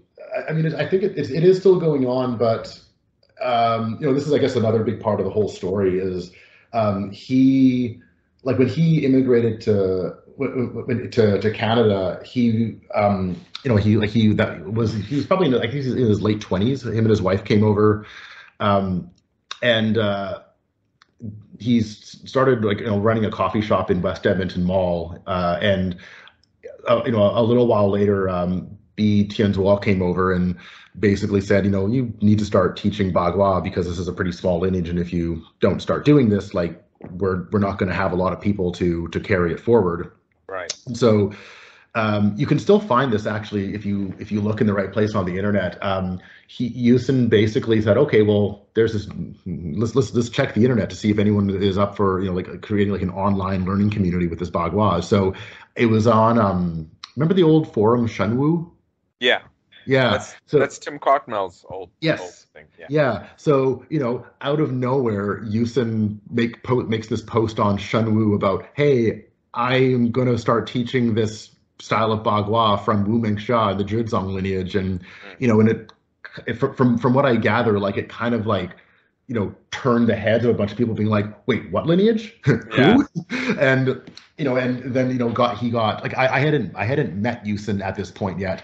Um, so I kind of pieced this together from, you know, some, some stories of the people who were involved. But, you know, all of a sudden, like, you know, there was a, a handful of people who had been, involved in Bagua, or you know, there were students of like Tim or Mark, Tim Cartmell's or Marcus Brinkman's, or um, you know, it, it had kind of been involved with like the Yizong lineage, and they suddenly, like you know, started asking you know Yusen for some more information, and he started providing more information, and everyone kind of you know recognized what this guy had and just by like by the way he was talking about it and so relatively quickly uh, do you remember the old Empty Flower Forum? Yes. Yeah. So um, there was a uh, an online study program that was launched in a private uh, forum, like a private sub forum off of the Empty Flower site. Okay. And the idea uh, was that you know people would sign up in these in this cohort format, and once every two weeks, uh, Yusen would release a um, a lesson video Okay. up to this like uh, this like you know, separate website that then you know, it was like obviously like you know like a locked you know password protected thing and people would watch the video and then submit homework to him and he would critique it and stuff Okay. and so like so so he was he was doing that um, i want to say that was probably about 2007 um, and and so when when i when i met him actually it's really funny because you you know andrea falk of course Yes, of course. yeah yeah because that, that's uh, she's how you met Di Laoshi correct Yeah, it was Yeah. that he get, I got his contact details. Yeah. Yeah, I know. It's, I remember you saying that when I when I was in Beijing, and it's funny because she's from Victoria, Ah, Uh, yeah. And um, I don't think she's in, around here right now. Hmm. But when I when I moved down to Victoria, like I said, I'd been doing Xingyi up in Nanaimo, um, actually through a James McNeil lineage. Oh, okay. yeah, I was uh yeah, I was I was a student of James McNeil's that lives in Nanaimo and was doing some I was doing some Xingyi with him, which which was great. I I really enjoyed it, and it was definitely uh um it was different from the karate that I'd been doing. Like I'd been doing Okinawan karate at that point for a few years. Um, yeah, about seven years at that point. and so like that was my first exposure to Chinese martial arts was through the James McNeil line of Xingyi Okay. and then I and I was enjoying it. So when I moved down to Victoria and um, was you know new in the city, and I was kind of sussing out the martial arts scene, and uh, nothing was like you know there was the kids taekwondo classes up the road and you know that kind of stuff that is obviously you know street facing and you know and very easy to find but i wanted to find something kind of like xingyi so i i made a post on some xingyi facebook group about like oh is there anyone doing xingyi in the area? And um, of all people andrea falk said oh i'm in i'm not in victoria right now but i i'm in montreal but i might be back in the, in the future. Um, and someone who i don't even know who they were and I still have no idea exactly, you know, I, I, I don't have no idea who this was. It wasn't somebody who was involved with, with the group, I, from what I gather. But someone said, hey, if you're anywhere in Victoria, you should really check out this guy named Yang Yusen. Um, Ah, and, uh, you know, he's like, and it was funny because before I had moved down to Victoria, one of, of the guy I was learning Xingyi from in Nanaimo was a guy named Landon Mose. And he had a student named um, named Dave, who um, I don't know his last name, but he was like he he. I, I never I had not met him, but he had like you know a year or so earlier moved down to Victoria. So when Landon found out that I was going down to Victoria, he was like, "Oh, you should you should uh, you should connect with Dave, my former student. You guys should do some training together." Um, he's doing this weird style of bagua. I'm not so sure about it. ah, okay. Those were the words, and I remember. And, and, and I remember he's like, "Yeah, it's this weird style of bagua. They do this weird stepping method. I really, I, I'm really not too sure about it." I'm like, oh, "All right, cool." Um, and so I, you know, when I, I had heard like, "Oh yeah, this guy's doing this this guy's teaching this bagua, and it's it's it's it's pretty it's pretty interesting. It's pretty legit." And it's funny because I, you know, I actually didn't want to learn bagua. I actually like I had, you know, at that point, my experience of bagua was, you know, very very superficial. Um, more like almost as like a kind of accessory form of like almost like mobility training or just like something fun to do as a cool down exercise or what I had found on the internet, which was often like, you know, very performancey wushu kind of Yeah. you know, bagua, right? And and you know, and I'd come from like an Okinawan karate background and a Xingyi background, so I wanted to like, you know, do something that was obviously like very linear and you know Martial. martial, Very right? obviously martial. Yeah. very obviously martial yeah um so i i ended up um you know after you know a couple people had mentioned you know like this you know the guy in victoria doing bagua the guy said like oh so go down to the empty flower forum and uh and find the guy with the username Yusen and send him a message and so i thought okay well cool that's that's you know good good lead so i so i did that um and uh, you know, I sent him a very formal, uh, a very formal message, right? Like, you know, young, young Laoshi, my name is Rory Knapp Fisher. Um, here's my martial arts resume. uh, Okay. are you, you know, like this is you know, this is my background. Are you accepting students? If you are, you know, would you consider, you know, would you consider letting me come and join the group, and et cetera, et cetera? And I got a message back that in effect said, "Oh, hey, Rory, Dave said you might be joining us." Oh, really? yeah. and, and it was uh, I was like, oh, all right, you were kind of um, you already knew that was coming, right? So and so at, at that point, what was going on was you know they were they were meeting up. It was just um, Yusen and this guy Dave at the time, and they were meeting up every um, two weeks to like train, but also film these lesson videos that were going out to this online group. Okay. So the training was really structured around like that schedule, and so uh, at the you know, you know, for, so I mean, then you know, time time kind of went on, and you know, Dave ended up um, he kind of I don't know he sort of fell off the radar actually. We don't really know like he he stopped, he stopped coming in, and we didn't see him. we didn't hear any activity about from him on the forum. But a few other people joined over the over the years and stuff. But I, I remember there was this point where, um, you know, like Yusen had kind of had. Uh, a handful of like online students like we'd, we'd run several cohorts for a while um i think there i think there ended up being like officially like six or seven on the old forum and the, the, the the online course is still going on through like a different site but it's very like it's very small time and you kind of have to like you know talk to one of the uh, one of the more um, senior people from that group to kind of like get access to the old lesson videos and stuff and um uh Yusen's still involved with and still doing it but it's uh, it's definitely much less like pushed out there as it used to be um Yeah. so it, it- but it's funny because like i i feel like when i like i said i was very privileged to kind of meet him when he was like right at the beginning of his project and like kind of I wouldn't necessarily say eagerly accepting students, but was like happy to have someone come and join in. Mm. And you know, and at a certain point it was like there was it, it, it- became obvious that you know there there there wasn't a, there wasn't necessarily like a lot of uh um like uh you would have had to really really like work to to stick around and and and and uh and and and continue on training in, in person and you know and, and like and not and not not because you know there was any like you know like dismissiveness or anything but it's it, we we like you know in the the in town group like the actual like local training group it was very casual very you know a lot like you know when um i met up with you in beijing and we were just kind of Right. with with Di Laoshi like you sort of meet up and you all kind of go and do and work on your own thing and um, of wander around and kind of help out, you know, from time to time, and then you you know kind of gather around and learn learn something new or discuss something. But if you know, we had a handful of people come by over the years who obviously wanted to like you know come and learn a form or something, and Yeah. sort of just you know like kind of like you know we're, we're shown like a basic Zhan Zhuang posture and then kind of you know practice it for a minute and then stopped and kind of stood around waiting for the next thing to do. Yeah. and and so I, I think at a certain point, like you know, Yusen was like, I've got like you know a couple of like solid local students who are like you know like they're they're showing up regularly, which is Mhm. which is great. I've got a handful of distant students who come by you know every few months, and um, so at a certain point, anyone who wanted to learn locally, he kind of just like directed you know one of us towards them or Right, right, right. something like that. Um, and yeah, like so, like I, you know, I almost felt like I feel like I kind of rolled in under the gate as it was closing, and uh, happened to you know just be be be very very lucky in that regard. Yeah, yeah. And and uh, what is what is uh, I mean, when he immigrated to the USA, what was it for a specific type of work? Sorry, to Canada. Was it for a specific type of work, or what what does he actually do as a background? I mean, you said he opened a coffee shop.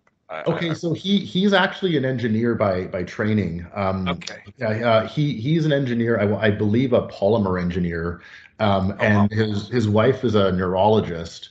And they actually, when they immigrated to Canada, I think it was actually just to just to come to Canada. Like it was, um, uh, it was just to to leave China and come to Canada. And they, you know, th- there an opportunity came up for them to for them to go. And I remember asking him about it a few times, and he was just saying, "Oh, Canada was always one of those places that I just like. I just I I I- I really like the sound of it. Like I really like I always had this like you know sort of idea of of moving to Canada, um, and they were no they were both you know from what I gather like very busy successful professionals in Beijing, um, and but this opportunity came up and they they they took it, and so they Okay. they they moved to Canada and uh, landed in Montreal originally I believe, and from there moved to Edmonton and um, yeah, set up a coffee shop, and you know their their daughter was born basically within a few months of them arriving in Canada. I, I from from what I gather, um, uh, his wife, you know, my my, my Shumu, she would have been pregnant when they landed in Montreal. Yeah, yeah. and and then you know, so they started raising a family in Edmonton, and probably because of the weather, uh, came out to the island. yeah, I've heard Edmonton's pretty cold. Yeah, I mean Edmonton's pretty cold, um, and I'm not sure yeah what you've heard about the island, but I mean w- w- this is often referred to as the Hawaii of Canada.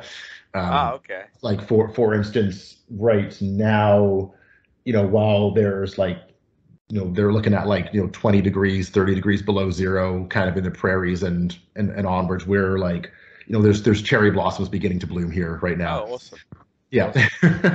so, it's, it's so, more more mild weather wise much more much rainier. It's a very rainy climate out here but you know we have like it's a it's it's a very it's like, like a coastal rainforest environment so it's very mild and very wet. But uh, we our, our our actual like cold winter lasts about two weeks and then we're you know we're usually above zero and like literally like literally cherry blossoms start blooming around right now and we oh, very cool. are into spring pretty early. So you get as much probably, you get as much rain as like seattle uh, a little, I mean, in a sense, yeah, but Victoria's tucked into a little bit of a shadow, so we don't. We actually Victoria specifically gets like notoriously less of everything than the surrounding area. So Seattle gets tons of rain, Vancouver gets tons of rain. Um, you go out to the west coast of Vancouver Island, and it's and it's like Seattle and Vancouver combined. Oh. Um, but you know, because we're in this little like um like this this this kind of uh like the, the the Olympic Peninsula on the west coast of Washington kind of juts out and creates this little um, like alcove of the strait, like the, the Juan de Fuca Strait, which kind of tucks us away from um, all of like the major weather systems. So they kind of disperse when they get here. So we have this like infamously mild climate in Victoria. So we get rain, but you know when it rains in Seattle, like and it's just torrential, we get like a little bit of a shower up up in Victoria. Okay. Yeah, every, everyone else kind of like takes it first, and then we get the leftovers. well, that's nice. I mean, that's a nice environment. All right, so um, you you mentioned that uh, you kind of got you slid in while the gate was closing. Um, is Yang Yusen still teaching groups, or is he only teaching his older students now? He's basically just teaching his older students now. Um, okay. Um, again, like like the online course is still running to some degree, but um, you know, I mean, but I, I what it seems to be more now nowadays is some of the more senior students who are still active with that uh, will every now and then kind of like bring on you know one of like their friends or you know like one of their students to kind of like just get that more like direct contact with with Yang Yusen. Um, uh-huh. and uh and you know but you know but he's like he's kind of semi-retired now like he he ran a coffee shop in Victoria here for oh like many years and back in 2018 sold it and uh he he also runs an ice cream cart down on the waterfront in Victoria. Oh, really? yeah. so uh, in the summertime, it's ice cream season, and so him and his wife are are just like like running around like we, are crazy busy because Victoria's a very big tourist city. Okay. So, um, so they're they're putting their ice cream cart down on the waterfront every every uh, every day. You know, usually from kind of mid May or so till early September. Um, but he's been traveling a lot lately. Like he really has just been kind of using his his, his daughter's off at university now. Um, they've sold their coffee shop, and he's basically like you know enjoying his, oh, his nice. like his, his time. No, it's, it's it's it's beautiful to see. It like I. Um, you know he's I, I I've not known anyone who to work as hard and as consistently as someone like he has. It's just like it right, was right. really great to see when he actually was able to actually get some spare time you know, like we we used to train in the coffee shop on Sundays um, because that was like where we had some space consistently. Mm. But because we, you know, the coffee shop was officially closed on Sundays, but we would, uh, uh, you know, me and like the one other local student here, we would just show up there at eight o'clock on Sunday mornings and we'd push all the tables aside and literally do bagua in a coffee shop on Sunday mornings. But then people started wandering in because there's people in the coffee shop. Of course and, and, so it was this really funny funny scene and like this would this went on for i want to say like seven or eight years of um you know we used to train in a schoolyard that was out closer to his house but then for whatever reason we started doing it at the coffee shop because we could then do it. It was just i think it was just easier for everyone that way. Yeah yeah. Um but like the, the weekly routine was like we would meet up have breakfast in the coffee shop push all the tables aside start doing our circle walking in the coffee shop and then inevitably, um, you know, random people would come in. There was even we even got Sunday morning regulars who would come in at about the same time, and then me and Lee, my my, my you know the Kung Fu brother of mine who's local here, we would then kind of you know try to sit unassumingly you know, wiping the sweat from our brows in a coffee shop and act like nothing was going on while, you know, while our teacher goes and makes a sandwich for somebody. I've had that. I mean, like when I'm training, if it's bad weather and I'm training somewhere that's like kind of in a public space, uh, maybe even inside a building or something, and then uh, you're sweating, and, and and then somebody comes like they're just you know, living, going through the area as it's Yeah, intended yeah. to be, and you're like pretending like you're looking out the window, but you're completely drenched in sweat, and they're totally. looking at you like you're a lunatic. And you're like, just move along already. So- yeah. Well, you know, it was really funny because, like I said, there was like a, a few people who became like the Sunday locals, and and we would just like not stop training when they came in, and it was Wow. like part of their Sunday morning routine is to like come in, have a quick coffee and like a muffin, and you know, while these two guys were doing some weird Chinese martial art in the corner of the coffee shop, while you know the owner of Ed who there's their te- is their teachers like chatting to him, talking about the news. It's just- it was a, it was a very funny scene. And ev- every now and then, if the coffee shop got busy enough, he would boot us back to the kitchen, and we would have to do like, which is a very narrow space. And so we were literally doing, um, like, we couldn't do bagua in the kitchen because it was too narrow, but we could do tantui. So we would do tantui in the kitchen Okay. when the coffee shop got too busy, because then we actually could like, you know, we we had like you know, but forward and backwards, but we did, but we could, if we were doing our tantui properly, it would not hit the sides of the, you know, the stove and the countertop. Oh, good. Yeah, Yeah. Really fun you guys, time. you guys came to you guys came to Beijing a few years ago. That's where I met you and uh, Jesse, and we, we we went around. What was that trip about? And was that your first time? That was my first time to Beijing. It was my second time to China. Um, I had been, I, I, had gone to China, um, oh, back in 2008. Actually, um, I when, when I when I finished university and I'd been studying Mandarin for a couple of or for a, a, a year there for a couple of semesters. Um, very coincidentally, I when I finished university, there was a um, uh, exchange, excuse me, an exchange program at the Shanghai Zhongyao Daxue for uh, sorry, the Shanghai Chinese Medicine University for those who don't speak Mandarin, um, where it was a language study program, but it was at the Chinese Medicine University in Shanghai. Uh, and so, you know, my whole motivation for learning Mandarin was first to study Chinese medicine. So I, and it was like remarkably cheap. It was like, I think it was like 1200 bucks all in for um over a month of an exchange. So I took that and that was my first, that was my first time in China. Um, but uh, the trip to Beijing was, oh man, it was like it was such a flying visit, and like we were only there for I want to say six days. Mm. Um, it was you know way way way way too short a time to spend in a place like Beijing, of course, Yeah. uh, or anywhere really. But it was such a it, it it came about because you know I guess the you know it was right before New Year's, right? It was like um it, it was I want to say like a week or two prior to uh, Lunar New Year, Mm. and um Yusen and um he was going back there because um uh, his wife my my my, my Shumu she uh her they were going to see her sister I believe.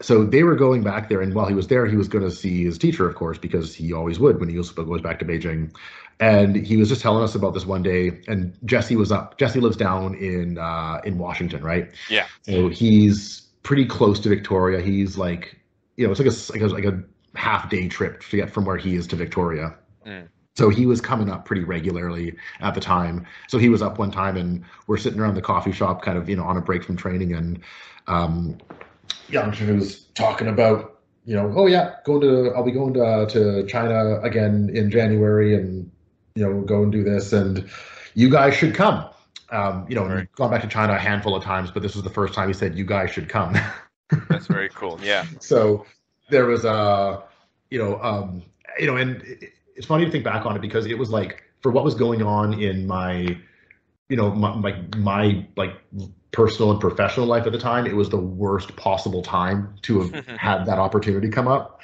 and i always credit jesse with this because jesse is just one of those people who says the hell with it i'm going to do this Yeah. and literally made like he literally like bought me the ticket and said, "No, you're coming."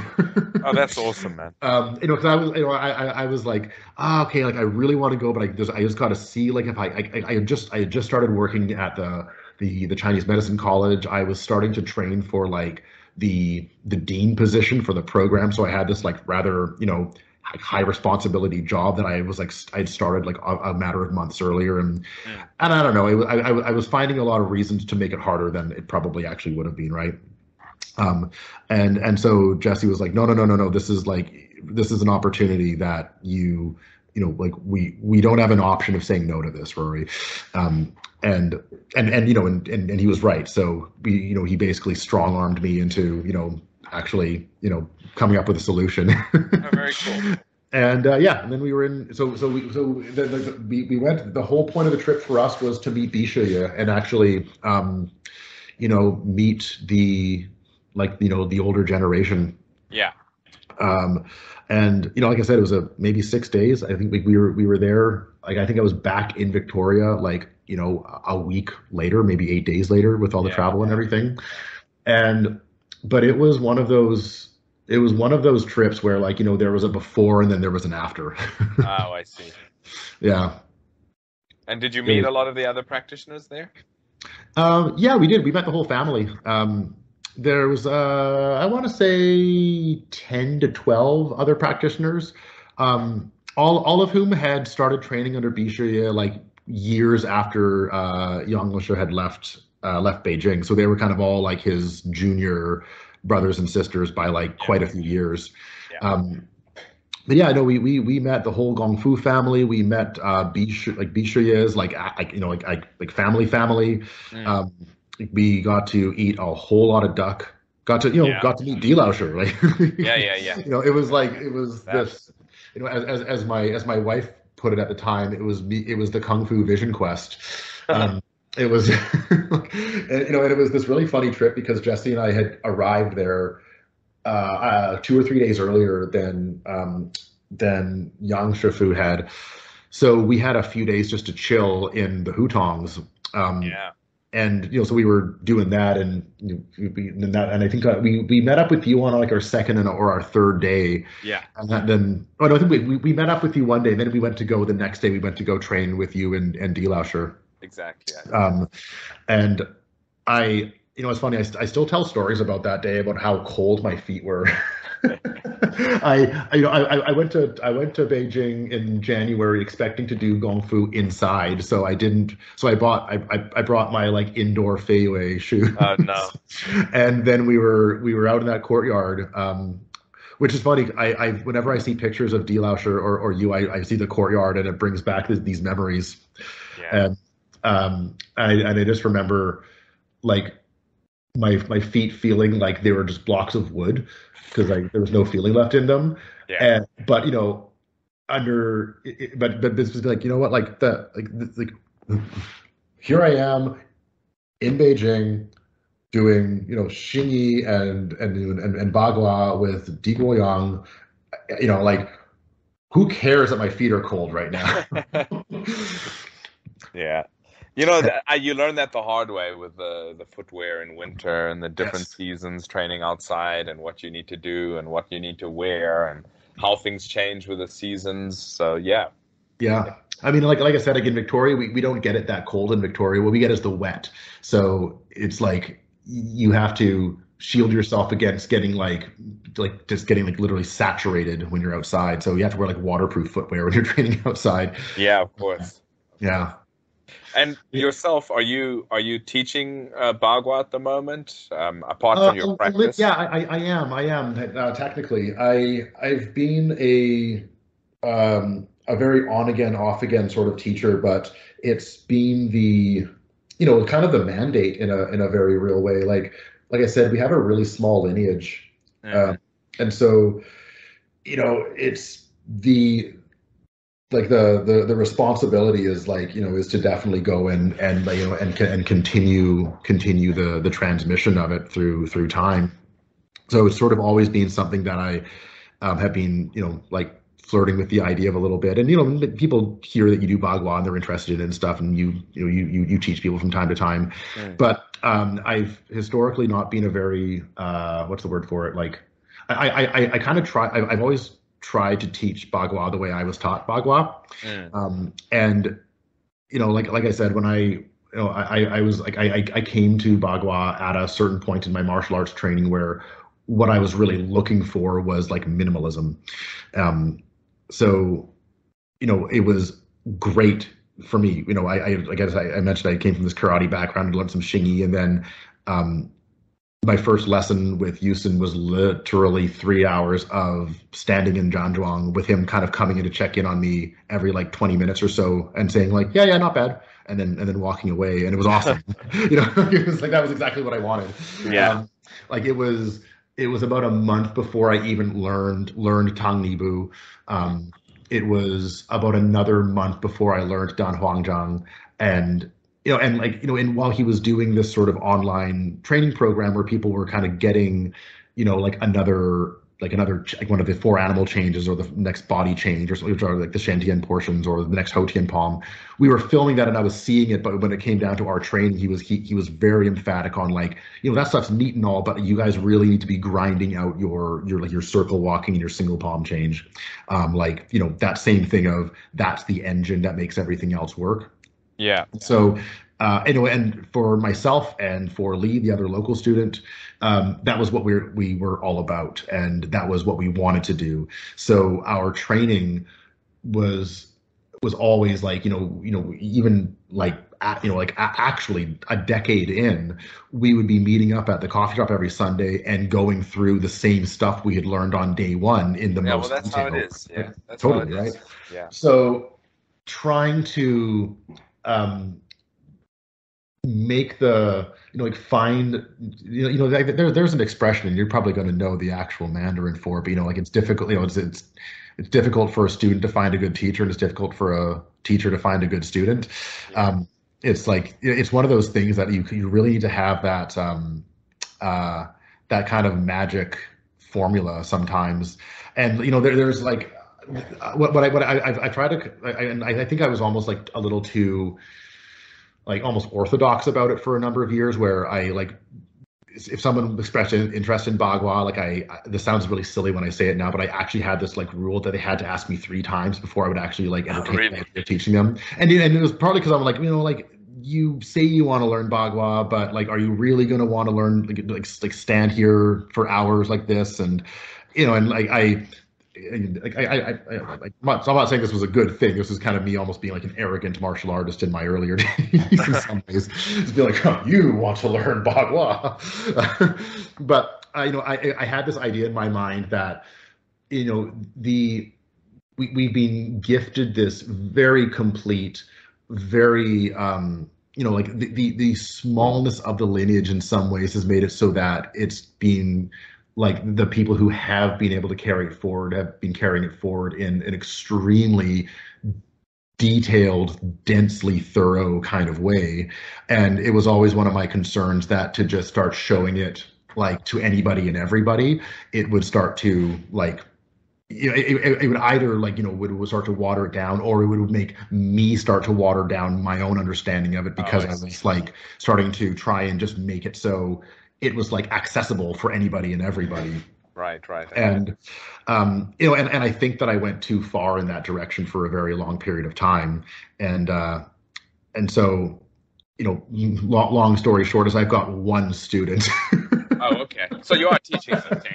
yes, I've got yes. one student who, for probably the last, I want to say, four or five years, has every so often like sent me messages being like, "Hey Rory, I really want to do Bagua again. Can we meet up?" oh, okay. um, and you know, and, and we've been a lot more active in our and and in, in in it for the last couple of like the last few years. I've been trying to make more of a concerted effort to actually like become a bit more active as a as as a teacher and as an instructor.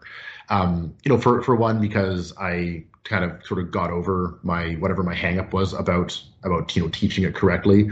Um, as well as you know like uh Yang Yang shifu basically said like you know like you know he kind of lay lay it down to us and uh like you guys have to start actually doing this yourself too you have to start to start to start teaching it like you know you can't just right, can't just right. you know keep it all to yourself sometimes. Um, uh, and so, yeah, and I, I, you know, so you, you kind of, I mean, in some ways, and I don't know if I'm fully there yet because I don't think I've had the chance to be um, really make this call on myself yet. But you kind of find yourself sort of like like maturing in the in the art to the point where you're actually like capable of being an okay teacher at it. Yeah. Um, and I think that I'm maybe coming to that point. Um, you know, because I feel like I'm I'm not quite as uh as like you know crotchety about it as I used to be. But you know, and, and and like like you were saying earlier, different people are going to come to it with different goals, and you know, there's something to be said for disseminating it at all um, and having there be like some awareness of it and then having there be like the people who really want to go the distance with it and sometimes you need to actually you know like cast a bit of a wider net to you know alert people the people who are really wanting to go to the depths with it that it's even exists in the first place. Um, so yeah so I, have I've started to try and become a bit more active as a teacher. Um, but you know i i, I in, in, other ways i feel like I, I have sort of the benefit of because like um, I you know it's, it's still very it's very very small time that you know I, I am able to spend a lot of time with very small you know small numbers of people. And you know we don't we we, we just we train outside like you know as you know as, as you do. So it's easy to kind of you, you don't have to like, like running a commercial bagua school or something like that would always be a really big challenge because all of a sudden you're trying to like you you you you sort of talk about the art a little bit differently in order to you know attract like a quota of students to make the rent or something like that. Right. and that and that can be a that can be a challenging thing. So i feel like i'm kind of fortunate in that i don't have to do that. I can kind of let the art speak for itself. Sure sure. That yeah. is a that is a good thing. I mean it makes you focus on that and that's it really. yeah exactly exactly you know but there's there's so much in there right and i think this is the thing that i've been really realizing personally is that there is so much in the system and different people are going to um, you know like have they're going to they're going to uh, you know like like resonate with different aspects of it. They're going to be looking for different things that Bog, you know, asking a different question than I was that Bagua has an answer for. You know, like for for me, it was like I I wanted to learn, you know, an old school martial art. Like I like I mean that was where my mind was at when I was I was looking around for things like this. Was I wanted to find, you know, what I think I don't know. I, I wouldn't have used this terminology at the time, but I wanted to find, you know, like a, uh, um, like a, uh, an intact martial arts from the pre comp, you know, like like like pre UFC era, basically. Yeah, pre modern. Sorry. Pre modern martial arts era. Pre modern, yeah. Like I, I had a conviction that you know, if a martial art had lasted this long, it had to have been legit it may just not be understood by people currently practicing it, which is why it doesn't seem to work or something. But I had it in my mind that no, like traditional martial arts are like extremely legitimate martial arts. You just have to find the the right source material. Exactly. Um, but you know, some people come to Bagua because they like the movement qualities of it, right? Some people come because they um, they're interested in um, you know like they're like they're they're they're interested in it for just more, almost more of like a like in like like a like you know, like like like a physical practice like they don't want to you know step into a you know like like a they don't they don't want to cross hands with people basically right? Like, yeah. like that, that, that may not be the thing that attracts them to something like bagua. And i've i've learned that you know you you you can teach one without the other and that's okay. Um you know and like yeah. you, you, have to you have to find at least a couple of people to you know to give the whole thing to but it's not a bad thing to have someone who learns the Xiantian really really well and you know and is aware of the Houtian but is just not much of a scrapper and that's okay like that's you know th- you know it takes a whole lineage or a whole generation of people to carry an art forward in, in its uh in, in its in its fullest form so you kind of need to have different people with different emphases i think Yeah. well, yeah, I mean that's that's very true. So, um, you've got your practice going, and you've got your your um, I mean your medical practice, and you your your teaching. I mean, you've got one student, but I mean, I'm sure if there's people that want to get in contact with you to learn, then then you consider it. So, oh, yeah, yeah, yeah. I am. I am. I am. Uh, as the weather gets a little bit nicer out here, I'm hoping to start up. Uh, um, you know, re- resume a, a, regular Saturday morning practice in in the, the park next to my house here, and um, Yeah, look, yeah, and it's it's funny. It, it struck me the other day that I'm actually the I, I am right now the age that uh, Yusen was when I met him. oh, okay. Funny. I, I, was watching. I was showing my student and um, uh, an old video that I, I just found it on my computer, and when he was you know, he, we were we were training at the clinic actually, because um, it's I, there's a very nice big spacious area at the clinic, and you know, in true Zhezong fashion, we had pushed aside all the furniture and we're training in you know my place of work. Right. uh, and and I and I was finding him on my computer, and I found this old video of of Yang Yusen doing um, the four animal Xiantian changes from mm-hmm. back in I want to say 2008. Uh, which was he basically filmed it to put up for that online course. And I remember this video from when I first met him, and you know, it's one of those funny things because I remember watching the video at the time, and you know, and that's that's my teacher. That's what he looks like, and and then of course I'm watching it now, and I'm like, man, yeah, he was like that was that was a minute ago. Like he's you know, he's a very youthful guy still, but you know, you can tell like it, this was like you know 15 years ago that he was filming yeah. this, yeah. and then I kind of stopped for a second. I did the math, and I'm like, he's he's my age. Like I'm I'm that old right now as he is right. in this video, and I just had this funny kind of feeling of like you know the like I, I and, and that was when Yusen had actually kind of said, okay, I'm going to actually start trying to teach this now. He was about, you know, just just about to hit 40, um, and you know, and it had kind of been given the this like the strong arm from his teacher saying like, you know, you have to start teaching this, and it could occur to me of like, all right, I've been given the strong arm by my teacher. I'm hitting that point in you know my my age. Like I think I need to actually start putting more effort into you know making this about the transmission of the art and not just about my own understanding of it. Yeah, yeah. So going to try to be a little bit more active in in, in that regard. Well, that's very good. That's very good. Um, I I don't want to keep you for the whole day. Um, we're we're also getting getting close to a couple of things that I've got to get off to, and it's been great talking to you. We could do this again in the future. Um, I'm hopefully that you, um, I'm hoping that you put something together in terms of penning your uh, discoveries out and as they relate to your understanding of Chinese medicine. But um, what I'll do is we'll put your contact details in the notes for the for the for the podcast. So if anybody's looking at to get in contact with you, whether it's for Chinese medicine or for Bagua, then they'll be able to. So we'll, we'll do all that. Sure. Yeah, that sounds great. All right. Well, it's been great chatting to you. Um, I hope you keep yeah. well where you're at, and yeah, we'll be in touch soon.